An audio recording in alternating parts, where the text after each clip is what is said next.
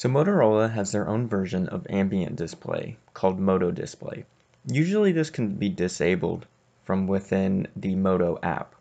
It can't be found in the system settings, but it's easily disabled in the Moto app. In the case with this other phone here, uh, this phone actually doesn't have the Moto app shown in the app drawer. And so instead, what we're going to do is go and disable it from the apps. And this in turn will disable the ambient display. So simply find the Moto Display app and press the disable button. So now you can see after leaving the phone a while on a surface and picking it up, it won't turn on the display as before. Hope this helps. Thank you all for watching.